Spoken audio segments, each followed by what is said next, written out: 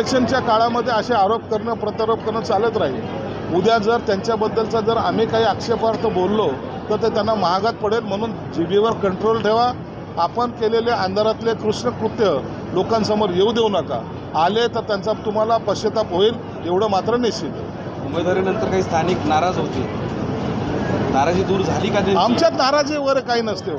आमच्याकडे आदेश पद्धती आहे. एकदा उमेदवार जिंकला झाला तो आपापल्या कामाला लागतो आणि सर्वजण आपापल्या महायुतीचा प्रचार करणार त्याबद्दल कोणतीच शंका घेऊ नका. त्यांनी पोस्ट पण टाकली होती त्यांनी नाराजी व्यक्त केली होती इच्छा व्यक्त केली होती. तरी त्यांच्या मनात असतं ना काहीतरी? अहो नाराज होणार नाही तर तो माणूसच कसला? तुमच्यामध्ये नाराजगी हा शब्द नसेलच. जर त्याला बोलताच येत नसेल तर त्याला सुद्धा काही काउंट केलं जात नाही. प्रत्येकाने आपलं मत व्यक्त केलं पाहिजे हा त्याचा अधिकार असतो. आणि त्याला कुणाशी काही विरोध असायचं काही कारण नाही. शेजारी बसलेला माणूस पण नाराज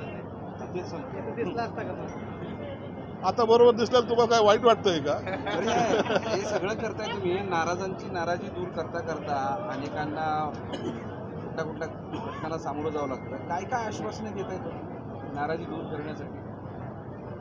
सगळेजण मिळून काम करूया. सबका भला होगा कोई किसी की चिंता मत करो.